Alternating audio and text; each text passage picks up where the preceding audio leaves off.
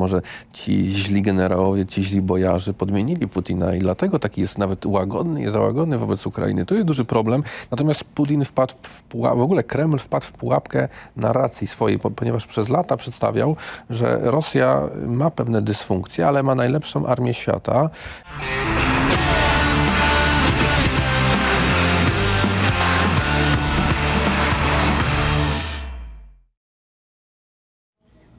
Dzień dobry, witam Państwa w poniedziałek, jak zawsze z serca redakcji Super Expressu. Ja się nazywam Jan Złotorowicz i to jest mój raport. I dzisiaj w raporcie dr Michał Sadłowski, y, prawnik z Uniwersytetu Warszawskiego, no ale przede wszystkim znawca, badacz imperializmu rosyjskiego. Trochę tak jak się umawialiśmy na rozmowę. Dzień dobry, witamy. Dobry, panie Dzień dobry Państwu. Dziękujemy bardzo, że znalazł Pan dla nas czas. Pewnie będzie, przyjdzie nam też zadać pytanie o to, jak długo się będzie Pan jeszcze musiał zajmować imperializmem rosyjskim, bo trochę patrzymy wszyscy na to, co się dzieje i zastanawiamy się, jak długo to jeszcze potrwa. Mówię nie o wojnie, mówię o właśnie tym rosyjskim imperium cara Putina. Wierni widzowie mieli okazję, że ja już się trochę wygadałem, o czym będziemy rozmawiać. Podczas mojego ostatniego spotkania z redaktorem Wiechem zeszliśmy na tematy sankcji, na tematy gospodarcze i rozmawialiśmy też między innymi o tym, no Putin ma dosyć stabilną sytuację u siebie, jak Państwo widzieli w zajawce. Rosjanie go popierają i to możemy śmiało powiedzieć, że masowo go y, popierają, ale to jest pewien warunek. On zawarł ze swoimi obywatelami pewien pakt. Największym uproszczeniu, ja to uproszczę, pan doktor to zaraz nam pewnie pięknie e, skonkretyzuje i pokaże, że to nie jest wcale takie proste, ale w takim największym uproszczeniu układ był prosty. Ja wam zabieram wszystkie prawa polityczne, ja wam nie daję praw do zgromadzeń, wy się zrzekacie w ogóle swojej polityczności, dajecie mi robić co chcę, a w zamian za to ja wam gwarantuję porządne, miłe, wygodne życie y, zachodnioeuropejskiej klasy średniej, zagraniczne w czasy w ekskluzywnych y, kurortach i wy sobie miło i wygodnie żyjecie, a mi pozwalacie robić co robię. No i przyszło trochę sprawdzam, bo doszło do tego, że zaatakował Ukrainę i pytanie brzmi, jak długo jeszcze Putin będzie zdolny ze swojej części umowy się wywiązywać? Znaczy na pewno y, ja zgadzam się z taką te teorią, wizją i też praktyką polityki Federacji Rosyjskiej, natomiast trzeba też zwrócić uwagę na jedną taką, na jeden aspekt. Przede wszystkim sam pakt czy umowa to jest jakaś forma konsensualna polityki, czyli to sugeruje, że jedna ze strona umawia się z drugą stroną. Natomiast jeżeli chodzi o Federację Rosyjską, o jej specyfikę ustrojową, o konstytucję, o przede wszystkim doświadczenia historyczne, ten pakt, można powiedzieć, jest trochę w cudzysłowie, bo to polegało na tym, że to jednak czynnik decyzyjny Kreml, góra narzuciła taki, taki formę relacji, można nawet powiedzieć, że właśnie z jednej strony jest, następuje rezygnacja z wolności politycznej i z aktywności w tej sferze, e, na rzecz oczywiście określonej partycypacji w fruktach tak, gospodarczych, w konsumpcji, w stabilności, w bezpieczeństwie, no i przede wszystkim to jest bardzo ważne, bo często to też jest pomijane e, przez komentatorów. Putin też obiecał, że on, obywatele Rosji, mimo że będą czasami spotykać się z pewnymi niedogodnościami czy dysfunkcjami nawet państwa, otrzymają wielkie państwo, potężne państwo, e, obszerne terytorialnie, państwo z potężną armią, która będzie w stanie w ciągu kilku minut nawet spacyfikować największe państwa europejskie. Tak? Czyli to było też, to jest bardzo ważny też komponent i dlatego teraz to poparcie jeszcze istnieje, na przykład w niektórych sferach społecznych czy grupach obywateli Federacji Rosyjskiej, bo część ludzi po prostu już by nawet chciała umrzeć, y, oczywiście też w biedzie, czy po prostu nawet w tej wojnie, ale mając świadomość, że my część tego terytorium Ukrainy zdobyliśmy i my generalnie y, no, jesteśmy uciskani, ale jesteśmy uciskani wobec pewnej wielkiej idei, a też ta forma ucisku w Rosji zawsze inaczej wyglądała, bo też ta, ona, ta forma ucisku jest przedstawiana też jako to, że państwo rosyjskie z drugiej strony tych ludzi bierze do armii, bierze do administracji, jakieś możliwości awansu są, ale oczywiście wszystko musi być w aspekcie po, posłuszności, tak? To jest bardzo, bardzo istotne. W ogóle Rosja jest zupełnie innym krajem, tak, niż Polska, czy kraje w ogóle tej naszej wspólnoty zachodniej, czy europejskiej, no bo to wynika przede wszystkim z kilku przyczyn.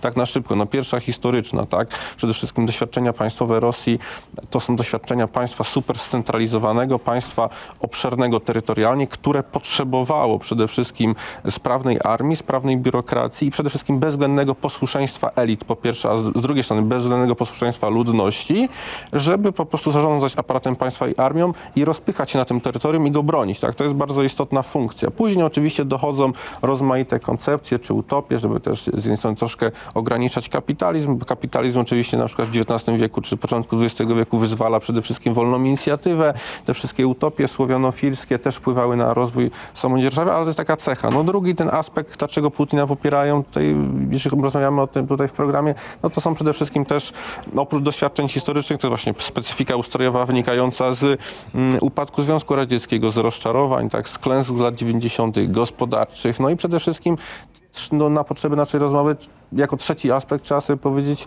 że to też jest e, pewne zdolności polityczne Władimira Putina, który przede wszystkim okazał się skutecznym politykiem, jeżeli chodzi o wyeliminowanie swoich konkurentów, o opanowanie nastrojów społecznych, intelektualnych i przede wszystkim opanowanie gospodarki. Tak? I to jest bardzo istotne.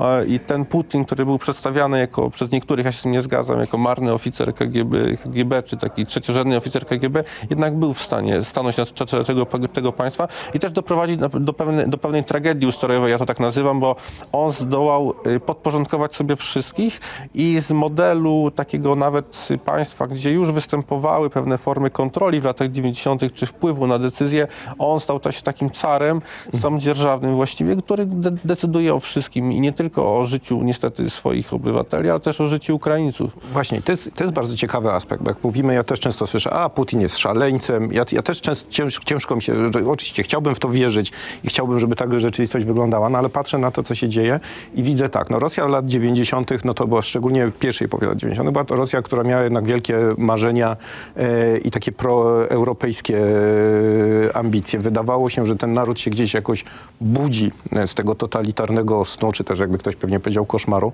zaczyna iść w kierunku liberalnej demokracji, zaczyna iść w kierunku wolnego rynku. Dużo się na tym obszarze udało zbudować. I chyba takim największym osiągnięciem Putina jest to, że bez problemu był w stanie wrzucić wsteczny bieg yy, i, i, i, zupełnie zmienić rosyjskie społeczeństwo, czy zahamować jego jakiekolwiek aspiracje wolnościowe i trochę ustawić sobie taki system, w którym obywatele no, godzą się na wszystko, co on robi. Taki jakby apolityczny naród.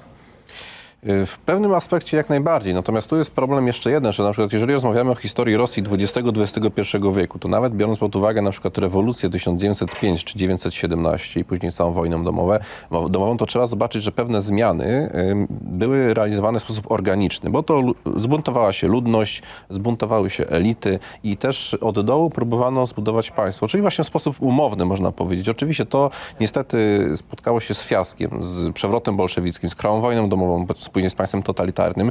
Natomiast później oczywiście mamy to długie państwo totalitarne, istniejące przez wiele lat, które też wyniszczyło przede wszystkim e, tkankę społeczną i instytucje, które był, były budowane, to można powiedzieć od drugiej gdzieś połowy XVIII wieku i które miały jednak troszkę na celu liberalizację i demokratyzację pewnych stosunków w Rosji, przede wszystkim też budowę takich niezależnych grup społecznych od państwa. To jest duży problem. Później jest pierestrojka, ale pierestrojka to jest, proszę zobaczyć, pierestrojka jest realizowana od góry. Realizowana od góry na, można powiedzieć, na wyniszczenie zniszczonym jednak przez komunizm, czy zmęczonym przez komunizm socjalizm społeczeństwie. I to też jest jedna z przyczyn generalnie klęski lat 90., że te zmiany zaczęły się po części od góry i też później następowały, wojny między elitami. Więc Władimir Putin miał oczywiście o wiele uproszczoną sytuację, żeby, tak jak pan rektor mówi, e, pewną sytuację uporządkować i powrócić do takiego tradycyjnego modelu, można powiedzieć rosyjskiego, radzieckiego, ale takiego modelu imperialnego i modelu mocarstwowego, gdzie wąski kręg decyzyjny generalnie robi taki organizuje kult państwa i to państwo jest gwarantem przede wszystkim przetrwania Rosjan. Tak to jest y, scentralizowane państwo jest y, gwarantem przetrwania Rosjan na tej przestrzeni. Dlatego też wszyscy powinni być bezwzględnie podporządkowani, ale w zamian otrzymują oczywiście pewne świadczenia i też pewną tą realizację wielkiej idei wielkiej Rosji. I tu jest problem, ponieważ y, zawsze wąska grupa decyzyjna czy jednostka, one są bez, no, poza kontrolą. Tak? Nie ma tutaj tych organicznych elementów kontroli władzy, jakie są właśnie na przykład w naszym kręgu cywilizacyjnym.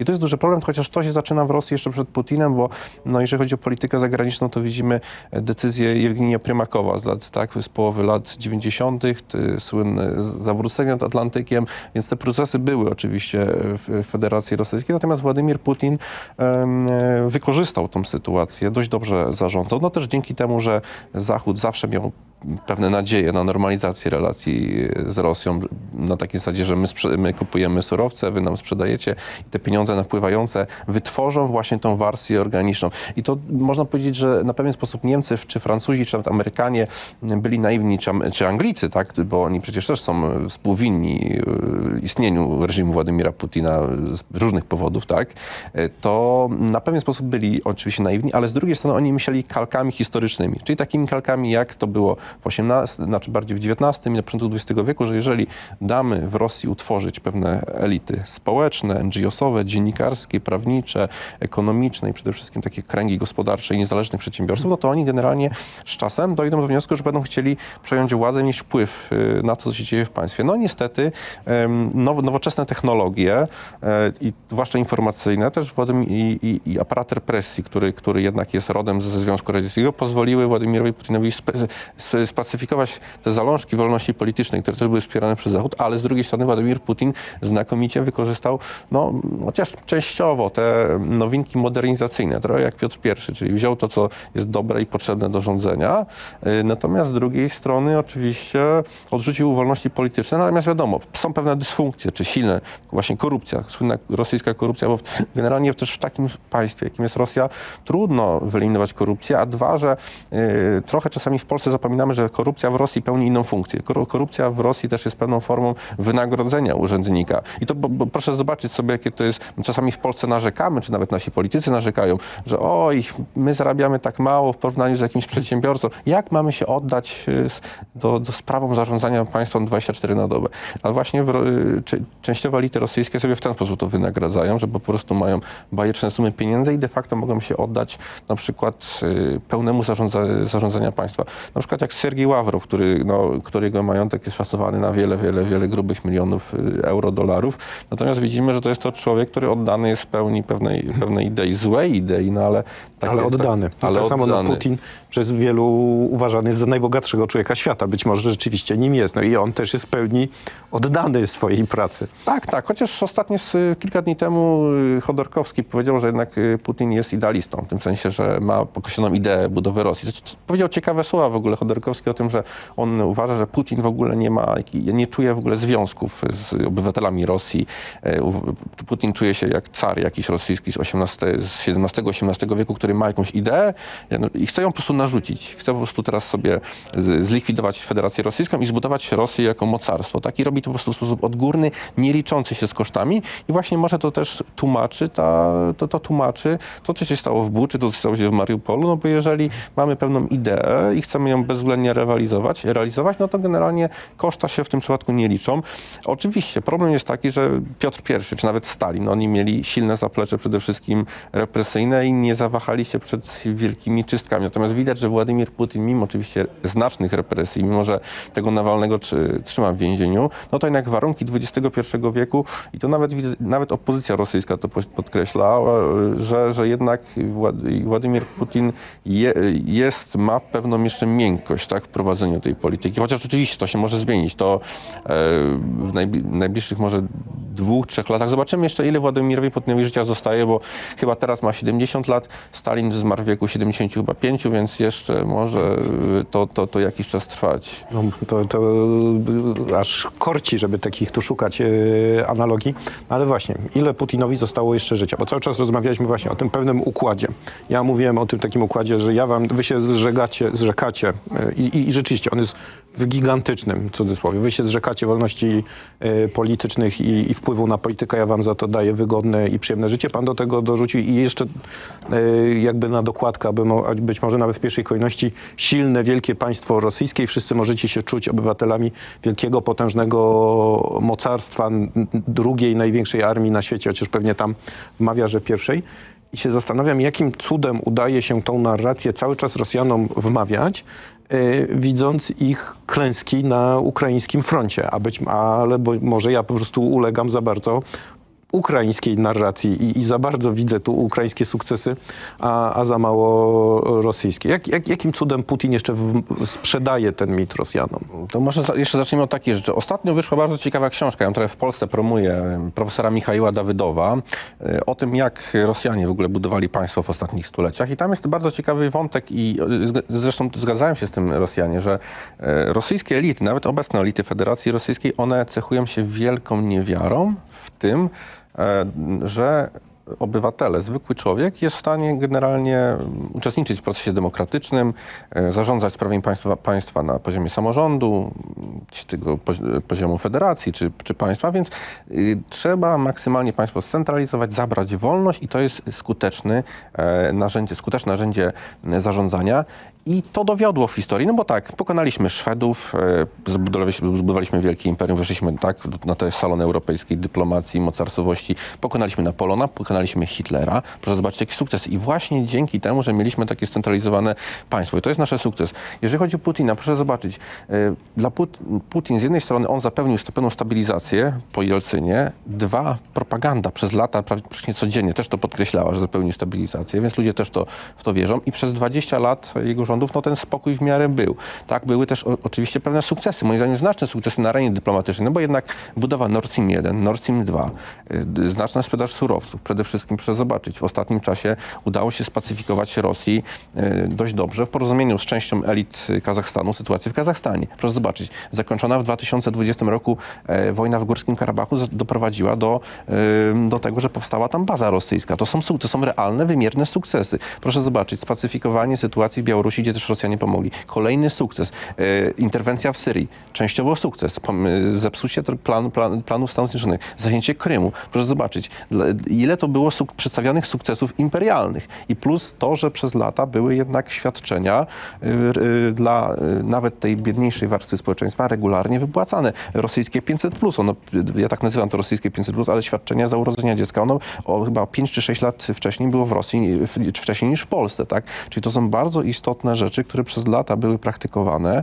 Natomiast no, też, ja też powołuję, właśnie przywołuję słowa opozycji. Tutaj Władimir Pastychów, o którym mówię, przecież on powiedział dość niedawno na, na jednym z głównych kanałów opozycyjnych, że, że lata Putina, jeżeli chodzi o historię Rosji, to są jedne z najlepszych lat dobrobytów. Oczywiście biorąc pod uwagę e, te warunki rosyjskie, tak, i wszelkie dysfunkcje. I to jest obiektywna rzecz, e, dla dlaczego popierają Putina. No druga rzecz to jest niestety pewna właśnie e, imperialność, ale też z, wbudowana w kulturę, pewna pogarda dla otoczenia, która też była petryfikowana przez aparat propagandowy.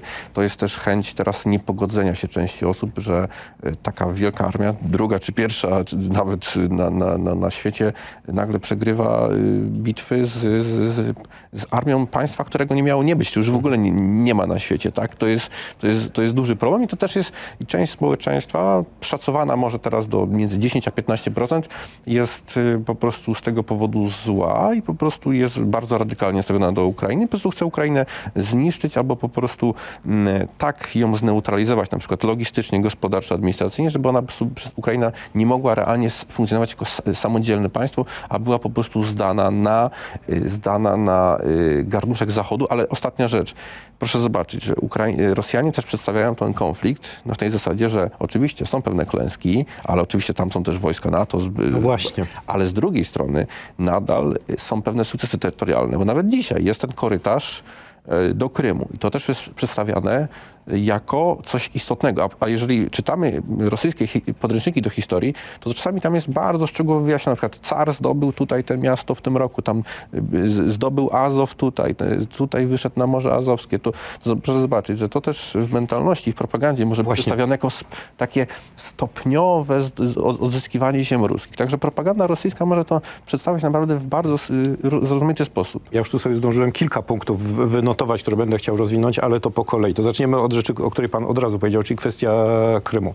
Ona też jest dla mnie bardzo fascynująca, bo właśnie no, wszyscy czekamy na to, jaki jest taki punkt krytyczny, po którym Putin mógłby powiedzieć, dobra, starczy, może osiągnęliśmy, co chcieliśmy osiągnąć i cały czas kurczowo trzymamy się takiej nadziei, chociaż wielu mnie przekonuje tutaj w tym programie, że to byłby tylko zgniły pokój i za chwilę skończył się kolejną wojną, ale zostawmy na razie to. Bardziej pytanie brzmi, czy e, właśnie Krym i korytarz do Krymu. Im więcej czytam na ten temat, no ale w sumie nie muszę czytać, bo pani za wszystko opowie, um, ten Krym ma takie olbrzymie symboliczne znaczenie e, dla Rosji.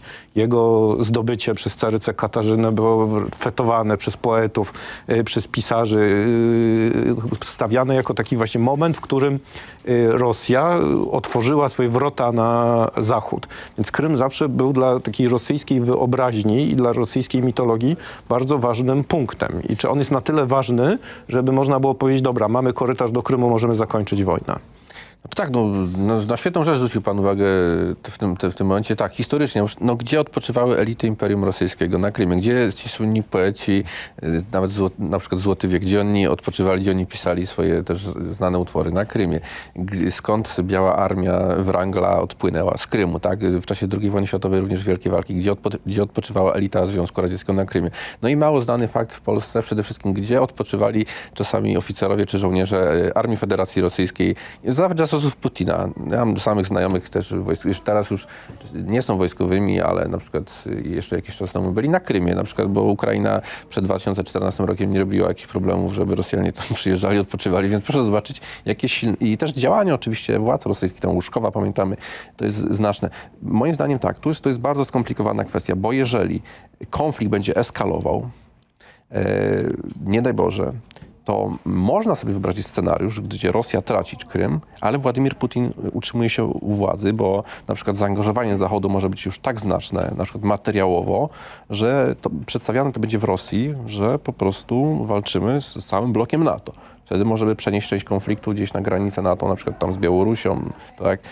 Polska, Białoruś, Litwa, więc to jest taki scenariusz możliwy. Co do zgniłych kompromisów, to też jest bardzo skomplikowane, bo z jednej strony oczywiście jest propaganda y, y, jednej i drugiej strony, też ukraińskiej, to jest zrozumiałe, Ukraiń, to jest dla Ukraińców walka o przeżycie, to jest istotne, ale możemy sobie też wyobrazić scenariusz, kiedy, kiedy oczywiście, chociaż to jest ryzykowne, gdzie jednak mamy tę realizację scenariusza no, tak koreańskiego, bo to też jest taki scenariusz rozważany, tak, że gdzieś zatrzymujemy się na tych liniach, Rosjanie mają te zdobycie, zdobycze terytorialne, mają korytarz do Krymu, natomiast Natomiast no, pytanie, czy na, wtedy można sobie też wyobrazić inny scenariusz, że wtedy sytuacja, sankcje zostają utrzymane mimo wszystko i sytuacja gospodarcza w Rosji e, doprowadza do, że ten, nazwijmy to umownie, kontrakt wygasa, bo państwo nie jest w stanie realizować. Dochodzi w Rosji do jakichś zmian, rewolucji, czy elity y, jakoś Petry, realizują zmianę polityczną.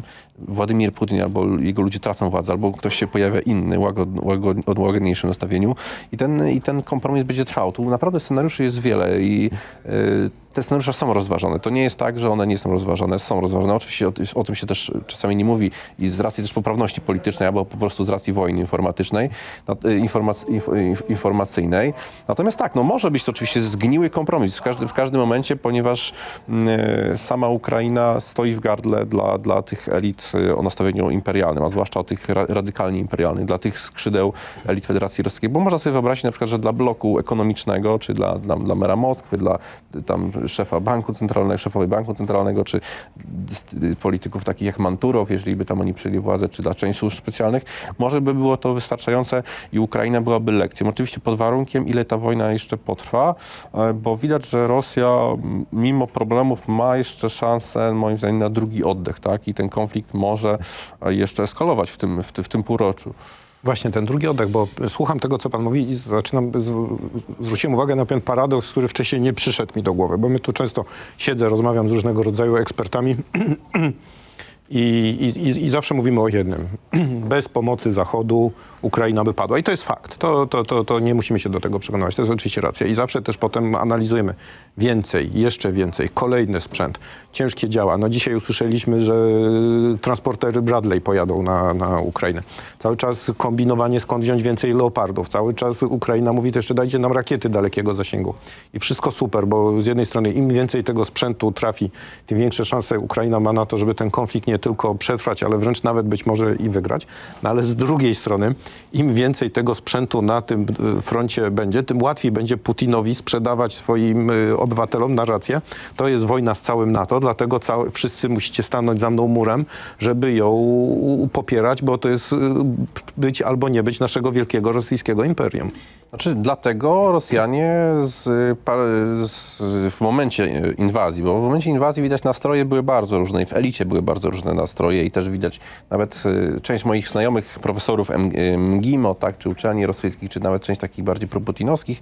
W momencie inwazji część była negatywnie stawiona. Oczywiście później te nastroje się zmieniały, natomiast y, skala sankcji Zachodu i też to y, takie cancel culture, culture w stosunku do kultury rosyjskiej spowodowały, że po prostu pewne też obudzenia budzenie się tych y, oczywiście instynktów patriotycznych, tak, czy uczyć patriotycznych, czy imperialnych, czy można to nazywać jak chcemy. I, i to jest tak samo, tylko że z drugiej strony mm, to wszystko zależy od tego, jak aparat państwa i jak aparat propagandowy będzie to wykorzystywał, tak? Bo pe pewni ludzie też, po, trzeba sobie powiedzieć wprost, są już trochę zużyci, tak? No bo przecież nawet patrzymy na dyplomację rosyjską, no Ławrow już po 70, tak? Pewni propagandyści rosyjscy. Pytanie, czy oni będą w stanie skutecznie te informacje wykorzystywać? Mm, częściowo już tak, bo jeżeli patrzymy na think tanki rosyjskie, y, te analityczne do spraw międzynarodowych, to oni już od czerwca mówili, że e, skala zniszczonego sprzętu zachodniego już jest tak wielka, że to jest nasz sukces. Więc proszę zobaczyć, że oni to przedstawiali dla tych, y, dla części elity czy dla części klasy średniej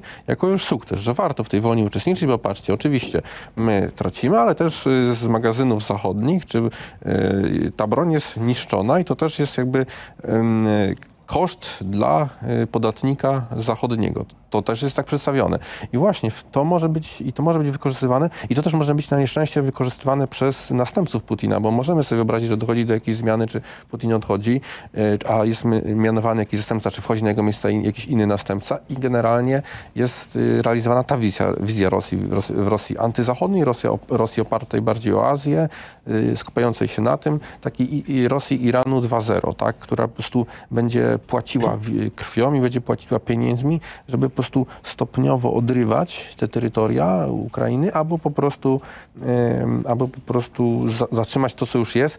Na pewno Putinowi to trochę pomaga ta kwestia, że propaganda rosyjska przez lata mówi o tym podziale Ukrainy, więc propagandowo sprzedać taką informację, że my bierzemy tylko część, bo na zachodzie to tam banderowcy i generalnie to była tak, część Austro-Węgier, czy nawet drugie RP.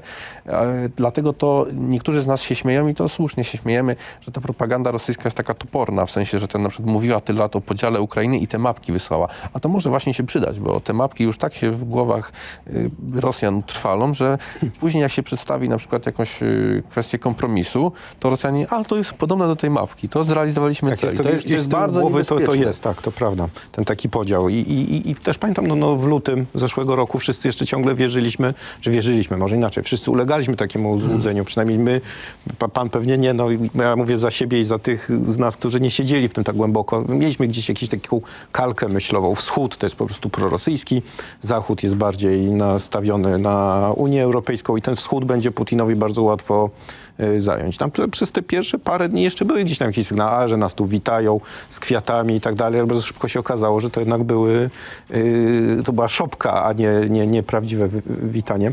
Ale y, zostawmy to, bo chciałem porozmawiać o tym, pan wspomniał Oszacował pan gdzieś tą liczbę na jakieś 10 do powiedzmy 15% ludzi, którzy gdzieś się zaczynają budzić. A to radykalnych, radykalnych, radykalnych, radykalnych. Właśnie, zaczynają się budzić i to, i to jest niekojące, bo właśnie rozmawialiśmy o tym, że Putin wykonał sporo pracy na to, żeby y, y, w społeczeństwie rosyjskim zasiać taką, taką apatię, taką niechęć do kwestii politycznych. I teraz widać powoli, przynajmniej widzę, że wielu ostrzega przed tym na telegramie, jeżeli się ludzie zaczynają budzić, jeżeli zaczyna się w nich jakakolwiek świadomość polityczna, to to nie jest na zasadzie, że źle się dzieje, musimy obalić dyktaturę, zaprowadzić tu demokrację, tylko najczęściej to są ludzie, którzy y, krytykują Putina, że się tak wyrażę, bardziej, że są bardziej, bardziej putinowscy od Putina. Albo częściej, że Putin jest w ogóle super, Putin jest świetny, o nim się nic nie pisze, ale że źle ta wojna jest prowadzona. Nie dlatego, że źle, że poszliśmy na tą wojnę, tylko bardzo dobrze, że Ukrainę trzeba zniszczyć, bo to właśnie faszystowskie państwo marionetka Polski czy cokolwiek tam innego nie piszą, ale że wojskowi to źle robią i niszczą wizję Putina, że trzeba to zrobić lepiej. Tak, to jest poważny problem. Tu na dobrą rzecz pan zwrócił uwagę, że pojawiają się nawet w Moskwie takie są żarty tak, wśród ekspertów czy wśród emigracji rosyjskiej, że w Moskwie mówią, a może Putin jest podmieniony i dlatego tak tą wojnę źle prowadzą. Może ci źli generałowie, ci źli bojarzy podmienili Putina i dlatego taki jest nawet łagodny, jest łagodny wobec Ukrainy. To jest duży problem. Natomiast Putin wpadł w pułapkę, w ogóle Kreml wpadł w pułapkę narracji swojej, ponieważ przez lata przedstawiał, że Rosja ma pewne dysfunkcje, ale ma najlepsze najlepszą armię świata, czy jedną z najlepszych armii świata, i która jest w stanie realizować bardzo skutecznie swoje działania. E, I to jest duży problem, bo teraz okazuje się, że ona nie jest w stanie realizować tych, tych, tych działań. Jeżeli by Putin tak, y, robił tak, tak jak bolszewicy na początku swoich rządów, że przedstawiał, że wprawdzie my staramy się budować naszą armię, jesteśmy super, ale y, Zachód jest bogatszy, bo to kapitaliści, my musimy jakby oddawać tutaj swoją krwawicą na tą armię, żeby dorównać, ale będziemy bronić. Jeżeli taka, tak była w ten sposób narracja przedstawiana, to by może były lepsze, y, lepsze, lepszy, lepszy oddźwięk. A teraz jest właśnie taka sytuacja, że no ale jak to, mamy taką armię, mamy te rakiety, mamy ten atom, to weźmy tam, zniszczmy już tą Ukrainę i będzie problem po co się tyle męczyć, po co tyle ofiar. Tu jest też częściowy problem, to jest część, częściowa pułapka Kremla. Widać, że blok ekonomiczny to wykorzystał, bo blok ekonomiczny bardzo mądrze mówi propagandowo, że mamy pewne problemy ekonomiczne, nie ukrywamy tego, ale staramy, dokładamy się starań i zobaczcie, faktycznie 2020 rok, zobaczcie, był ekonomicznie, biorąc pod uwagę prognozy z marca, no znakomity. Jeszcze urodzaj rolniczy, no to potrafiliśmy y, y, konsumpcyjnie przeżyć, tak? To jest bardzo istotne. Natomiast e, jeżeli chodzi o siły zbrojne, jest to, jest to duży problem, tak? I e, przecież widzimy, to też jest bardzo istotne, widzimy dość znaczne rozmiary tego ruchu takiego dolnego, który na przykład wysyła e, medykamenty, wysyła hełmy, wysyła jakieś kurtki, te kamizelki kulotporne. Są przecież na Telegramie, tak, czy nawet na, na, na Twitterze konta, które, które, które zbierają te, te środki, więc takie też zjawisko występuje. Natomiast problem problem będzie w tym momencie, kiedy ten elektorat y, nieradykalny, bo elektorat radykalny on będzie zły, ale on zawsze się jakoś da albo spacyfikować, albo po prostu będzie czyhał na kolejną szansę napadnięcia na Ukrainę, ale problem będzie, kiedy te, nie wiem, te, te, te może kolejne 15% czy dwa, te dwa, nawet do 30% w pewnym momencie zda sobie sprawę, że jednak y, rządy Putina zmierzają w, złe, w złą stronę. To będzie bardzo ważny czynnik, tak? No też i bardzo ważny czynnik będzie taki, co y, w elitach rosyjskich czy one wybiorą tą drogę e, że przebudowujemy na społeczeństwo oddolnie, organicznie, czy po prostu jakiś mo model rząd, jakiś rządów pułkowników, jakiś bardziej taki rządy autorytarne, to reformie soft, czy jednak obieramy ten twardy model, e, model generalnie samodzierżawia. I to też jest bardzo istotne, co się będzie na arenie międzynarodowej działo, na świecie generalnie, tak? Bo generalnie Putin podjął tą inwazję z wielu przyczyn, tak? Ale też jedną z takich przyczyn było to, że w Europie widział pewne też problemy liberalnej demokracji, konflikty w Unii Europejskiej, w NATO, no bo to też oczywiście y, konflikt na Ukrainie, on widać zjednoczył bardzo silnie Unię Europejską. Miał problemów oczywiście, ale zjednoczył per saldo i zjednoczył NATO. Natomiast widzieliśmy sami problemy. Przede wszystkim Unia Europejska to Orban, tak, tak. czy pewne Le Pen, tak. Rosjanie patrzyli na to z nadzieją, tak, czy w ogóle na przykład wzrost Chin, czy też no, Brazylia. Widzimy ten przykład. Proszę zobaczyć, ile miejsca poświęcało się w polityce rosyjskiej, że chodzi o Brazylię. Bardzo ważnie, chociaż informacyjnie, tak, by tam były wielkie nadzieje, że to Brazylia będzie takim jednym z ruporów, jakby Rosjanie takim wielkim, taką wielką szansą na to, żeby w Ameryce Południowej umacniać swoje wpływy, więc też te trendy, czy, czy, czy właśnie, czy bardziej autorytaryzmy na świecie, czy bardziej e, e, ograniczenie demokracji liberalnej, to też będzie miało swoje znaczenie w przyszłości, tak? E, I pod, pod względem, czy w ogóle ten model zachodni będzie efektywny, bo Władimir Putin, Rosjanie niestety są zakażeni geopolityką, zwłaszcza rosyjskie elity, i oni myślą bardziej e, w kategoriach globalnych, aniżeli generalnie w takich kategoriach, jak po prostu zbudować efektywny model zarządzania państwem na różnych poziomach, dając jednostce E, wolną inicjatywę. I tu jest duży problem. Właśnie i teraz tak, ja wykorzystam jeszcze fakt, że mam pana, bo do tej pory dużo prowadziłem rozmów właśnie z drugiej, z zupełnie innej perspektywy. Jak rozmawialiśmy o szerszym kontekście tej wojny, przechodząc na ten poziom, który wszyscy lubią nazywać zimną wojną między Zachodem a, a Rosją, to bardzo często słyszałem, że właśnie Putin gra na czas i na wyniczenie. Czy on ma nadzieję, że prędzej czy później społeczeństwa zachodnie się zmęczą tą wojną, osłabnie zapał do jej popierania na demokratyczne mm, władze, nie będą w stanie dłużej prowadzić wsparcia dla Ukrainy bez poparcia swoich y, obywateli. I to często słyszę, że to będzie taki test na wytrzymałość zachodnich y, społeczeństw i różne bardzo słyszę prognozy a propos tego, na ile zachodnie społeczeństwa są zdolne do tego, żeby tą grę na przetrzymanie wygrać. No ale z drugiej strony podobną grę Zachód toczy z Rosją, kiedy wprowadzano te sankcje, kiedy wprowadzano te ograniczenia, kiedy się wynosił kapitał z Rosji. Wszyscy też słyszeliśmy, że jest szansa, że za chwilę rosyjskie społeczeństwo się zorientuje, co się dzieje, jakby zrozumieją, że skoro nie mogą, nie wiem, kupić y, hamburgera w McDonaldzie, kupić bluzki w H&M, czy, czy nie wiem, czy, czy, czy, czy korzystać z tych takich dobrodziejstw, do których się już przyzwyczaić zachodniego kapitalizmu, albo pojechać na e, egzotyczne w czasy do jakiegoś fajnego kurortu, to zorientują się, co się dzieje, da im to może do myślenia i tego Putina obalą. Natomiast zastanawiam się, czy, czy to nie są trochę płonne nadzieje, bo mijają kolejne miesiące wojny, i jakoś Rosjanie nie wydają się być szczególnie dotknięci jej efektami. No co więcej, biorąc, no wiadomo, no, no McDonalda próbowali zastąpić jakimś swoim, wyszło to raczej tragicznie, ale już na przykład yy, czytałem, że plaże w wielu azjatyckich kurortach są oblegane przez yy, rosyjskich turystów, że w Tajlandii to w ogóle nie da się do wody wejść, żeby się nie przepchać przez tłumy bogatych Rosjan. Yy, Gruzja nagle stała się bardzo popularnym miejscem, co jest w ogóle szokujące i przerażające, bo pamiętam jeszcze nie tak dawno temu, jak Gruzja była z takim symbolem oporu przeciwko mo mocarstwowości rosyjskiej, a nagle tam można spokojnie na wakacje, nagle tam spokojnie można pojechać robić interesy. No to jest taki problem, bo z jednej strony tak, yy, widzimy, że sankcje dotknęły częściowo. One na pewno dotkną, już yy, dotykają Rosję, jeżeli chodzi o kwestie know-how technologiczne i to będzie wielkie wyzwanie i dlatego to, ta wojna będzie może ograniczona czasowo w tym intensywność tej wojny, bo trzeba będzie jakoś mieć określone stosunki na świecie, żeby jednak nie zostać państwem zupełnie niemodernizowanym, e, czy państwem, które będzie odłączone od światowych trendów technologicznych. To będzie problem. Natomiast w pierwszej, oczywiście w pierwszych miesiącach i nawet teraz, no widzimy, że te sankcje no, nie doprowadziły do upadku gospodarki rosyjskiej, czy przede wszystkim rynku konsumpcyjnego, który jest istotny, tak, z punktu widzenia przeżycia ludności. No bo przede wszystkim tak, bardzo duże znaczenie ma to, że gospodarka rosyjska już e, ma pewne, miała pewne sfery samodzielności po 2014 roku, czyli po pierwszych sankcjach. To jest bardzo istotne. Produkcja żywności na przykład w, e, na Kubaniu, w Krasnodarze, ona wyrosła i ona nawet, ta żywność była już eksportowana, tak? E, to jest po pierwsze. Po drugie, trzeba powiedzieć sobie tak, na przykład przykład chipsów Pringles, tak? Podobno z jednej strony oczywiście ta, ta kompania z Rosji wyszła, ale magazyny rosyjskie, bo y, skala Rosji jest też ogromna, były na tyle pełne, że po prostu można pewne produkty jeszcze sprzedawać.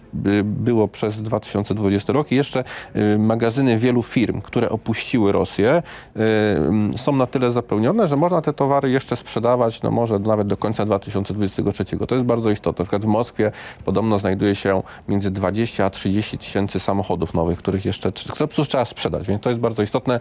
To pozwoliło dla wielu rosyjskich firm e, nawiązać kontakty e, na rynkach pozaeuropejskich i przede wszystkim sprowadzać zamienniki. Właśnie albo bezpośrednio z właśnie krajów Bliskiego Wschodu, z Ameryki Południowej, z Afryki, ale też właśnie przez Gruzję, przez Armenię, przez, Ka przez, Ka przez Kazachstan. Wiele firm też rosyjskich przejęło biznesy zachodnie i na, e, na, na podstawach tych fabryk organizuje sw swoje, swoje przetwórstwo czy e, tworzenie określonych produktów, więc na pewno w 2022 roku no, to nie było jeszcze wielkie wyzwanie. Dwa, że też administracja Federacji Rosyjskiej dała zielone światło dla wielu przedsiębiorców, żeby jednak e, zlekceważyli pewne, można powiedzieć, administracyjne bariery, po prostu e, realizowali tak, wszystko tak, żeby zapewnić przede wszystkim e, organizację rynku i żywności. Dwa, Kreml bardzo silnie zaczął naciskać na administrację lokalną, czy na, można powiedzieć, kierowników administracji podmiotów Federacji Rosyjskiej, żeby z jednej strony pomagali dla lokalnego biznesu. Dwa, organizowali przede wszystkim zaopatrzenie. Trzy, przez lata zarządu Władimira Putina wykształciła się jednak na dobrym poziomie administracja centralna, zwłaszcza biurokracja. I to widzimy przede wszystkim, e, jak działa ten blok ekonomiczny, który nawet został pochwalony przez y, Chodorkowskiego, e, że, że na przykład działania Banku Centralnego są realizowane mądrze, przemyślanie, e, czy, czy, czy, czy działania Ministerstwa Finansów. To pozwala w tej krótszej perspektywie oczywiście sankcje, wytrzymać. Natomiast pytanie, co dalej, bo sami rosyjscy ekonomiści mówią, że ten rok będzie trudniejszy. Spadek PKB może być o 3, już 4, 5, 6%. No przede wszystkim widać, że ceny są też utrzymywane. Też jest przede wszystkim sztuczne czasami utrzymywanie przedsiębiorstw, czasami przychodzi FSB czy policja do takiego przedsiębiorcy i mówi, nie, może, nie możesz zwolnić tych ludzi, niech firma działa, ma, miejcie mniejszy zysk, my będziemy może was mniej trochę męczyć, ale firma ma przede wszystkim funkcjonować, tak? Czyli to też jest istotne. Z drugiej strony ja też znając trochę jeżdżąc po Rosji, no widzę, że Rosja liczy, no nie wiem, no tam 145-146 milionów mieszkańców. No wiadomo, teraz dochodzą też te terytoria okupowane, to jest skomplikowane. Natomiast no, wyżywić czy zorganizować gospodarkę dla 145 milionów ludzi, no nie jest aż tak trudno. Tym bardziej, że mamy przykłady takich państw jak Iran, tak, czy nawet ta nieszczęsna Korea Północna, tak, gdzie oczywiście ja mówię o scenariuszach skrajnych, ale ja wolę po prostu pozytywnie się zaskoczyć, niż yy, oczekiwać czy wielkiego chaosu. Czy to jest taki widać takie dążenie do takiego modelu radzieckiego, takiej właśnie samowystarczalnej gospodarki, że my nic w zasadzie z Zachodu nie potrzebujemy, bo sami jesteśmy w stanie sobie wszystko zapełnić. Trochę tak, natomiast jednak jest, nawet u Władimira Putina. Władimir Putin mimo wszystko, czy Władimir Putin, on się przedstawia jako antykomunista, a on faktycznie, moim zdaniem ideowo jest antykomunistą. Inna sprawa, że praktyka jego polityczna doprowadza do tego, że on pewne kalki kupuje, a dwa, że no nie może zerwać całkowicie z ideologią czy z doświadczeniami historycznymi ZSRR, bo, bo część Rosjan żyła w tym systemie i on to wykorzystuje. Natomiast y, przede wszystkim Rosjanie mają świadomość, elity rosyjskie, że żeby gospodarka przetrwała, to musi istnieć pewna samodzielność, y, tak jak w NEP-ie, tak? Dlatego na przykład jak się zaczęły sankcje, to nagle rosyjski internet wystrzelił, zwłaszcza ten prokremlowski, o teraz będziemy realizować NEP, tak pan redaktor mówi, będziemy samodzielni, ale musi być przy tym inicjatywa, tak?